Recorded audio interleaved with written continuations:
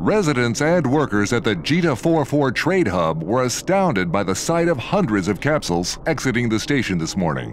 After the apparently unauthorized mass launch, the capsules quickly warped off into space before they could be contained by approaching Caldari Navy patrols.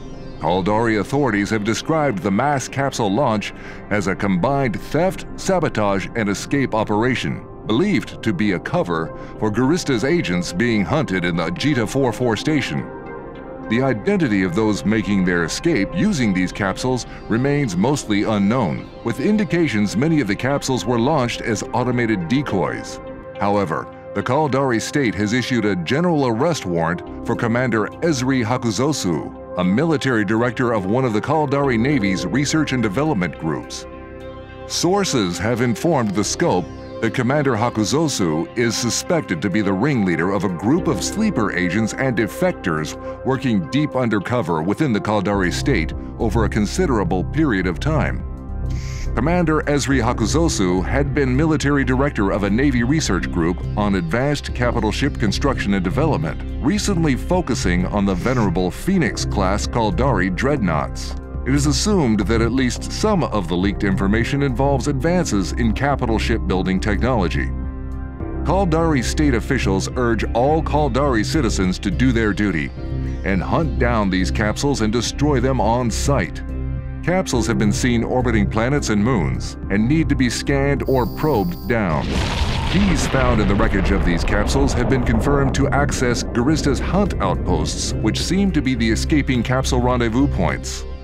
Any recoverable data or corpses are to be retrieved and handed over to the Caldari Navy through established trading protocols.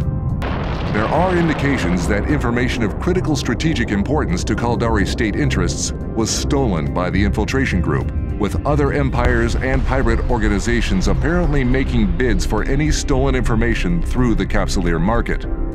The regions around Venal have seen a significant increase in Caldari Navy and Guristas activity as ships on both sides attempt to scan down and retrieve the hijacked capsules. Occasional clashes between the fleets have also been reported. The Venal region seems to be the main destination of the hijacked capsules, supporting the theory of Guristas involvement in this operation. Like many outlaw groups, the Guristas pirates appear to have been upgrading and expanding their capital ship construction operations recently.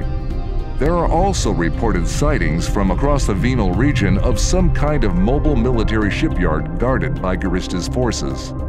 Dedicated Guristas capital building shipyards have also been encountered, and capsuleers are advised to show extreme caution when approaching these heavily defended installations. The scope will continue to report as the situation develops. This is Alton Haveri reporting for the scope.